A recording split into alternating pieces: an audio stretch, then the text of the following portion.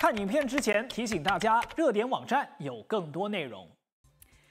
疫情后的近两年来，那受到美国高利率、贸易疲软，还有地缘政治紧张局势的拖累，全球经济增长持续放缓。根据世界银行最新发布的全球经济展望报告啊，那二零二零年到二零二四年，全球经济将会创下三十年来增速最慢的五年。而且可能使到四分之一的发展中经济体变得比新冠疫情爆发之前更加穷。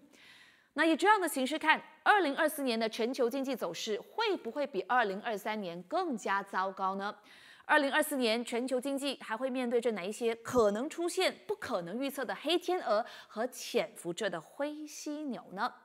二零二四年迈入多个大国的大选年，那全球经济又会出现什么冲击？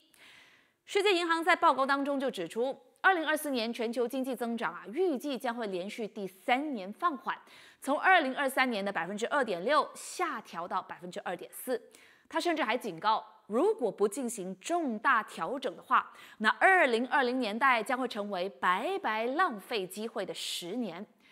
大马诺丁汉大学经济系主任张永龙在接受八点自热报访问的时候就指出，相比起二零二三年，那全球尤其是美国跟中国的经济啊，会处于放缓的局面。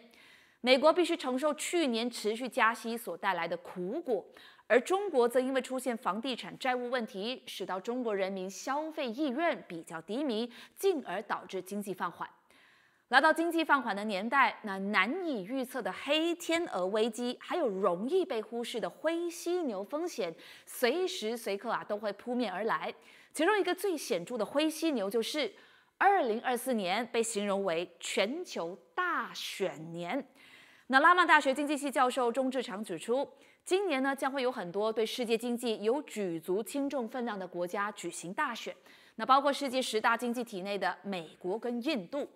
他认为，如果这些大国的最高领导人，比如说像总统或者总理换人来当的话，那可能会改变他们整个国家的方向，为全球经济啊带来一些不可预测的发展，那甚至可能也会对经济造成一定的冲击。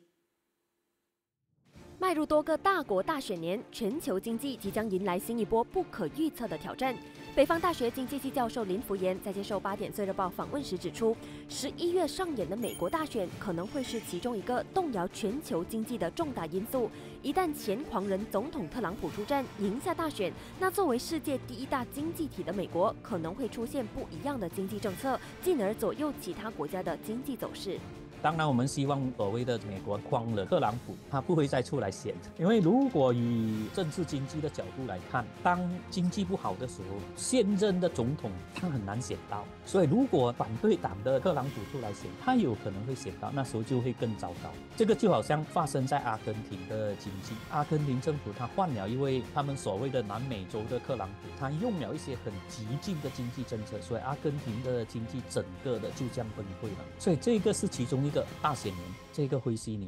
除了有大选年这个潜在危机之外，全球也会面临着许多灰犀牛，气候变迁就是其中一个。大马诺丁汉大学经济系主任张永龙和拉曼大学经济系教授钟志强都表示，气候变迁带来的影响有多大，没有人能知道；而自然灾害什么时候会发生，也没有人能说得准。不过一旦爆发，势必会对全球经济造成重大冲击。我觉得可能灰犀牛来讲的话，一个比较常提到的就是气候变迁，因为我们知道它随时都可能发生。要说它什么时候发生，我们也说不定。可能就是比如说自然灾害，比如说地震，一个很强的地震突然冲击，比如说日本或者是美国的话，当然这个也会造成对经济来讲也会有很大的影响。中国方面、美国方面啊，或者是其他国家也有可能，日本的也有一些地震。所以这方面如果在二零二四年发生一些更加严重的灾害，比如可能又在发生二零二二年的 COVID，可能又有新的病种发生。二零二零年之前的那个没有预测到整个世界会因为疫情而停顿。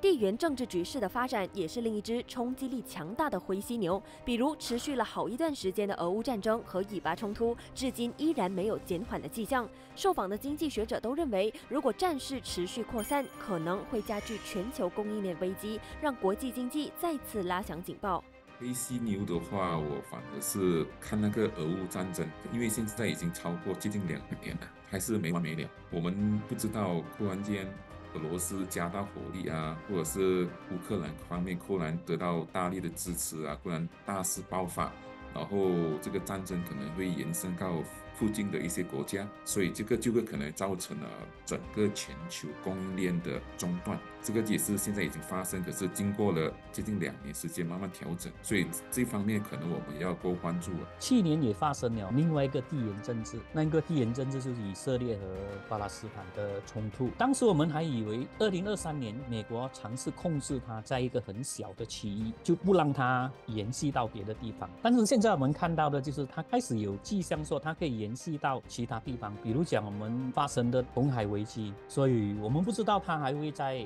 扩散这些太多了啦，你就可以看到整排的灰犀牛在那边排着，所以只要其中一只真的冲过来，这个二零二四就完了。二零二四年是潜伏着很多只灰犀牛的一年，那只要一头灰犀牛冲出来，那这个二零二四年呢，可能就要完蛋了。有句话说：“出来走江湖，迟早都得还。”北方大学经济系教授林福言在受访的时候，就以这句话来做出比喻。他说：“全球各国在疫情爆发之后呢，疯狂印了大量的钞票，而这种行为所带来的影响是迟早有一天会显现出来的，说不定来到二零二四年。”全球就会为打印钞票的行为付上惨痛的代价，但就目前的情况来说，那依然是一个未知数。而刚刚提到的这些灰犀牛啦、黑天鹅，又会如何冲击世界两大经济体美国跟中国呢？作为出口经济体的马来西亚，我们又会受到怎么样的波及呢？明天的经济专题报道，受访者呢将会分析中美两国经济走势如何牵动大马的命运。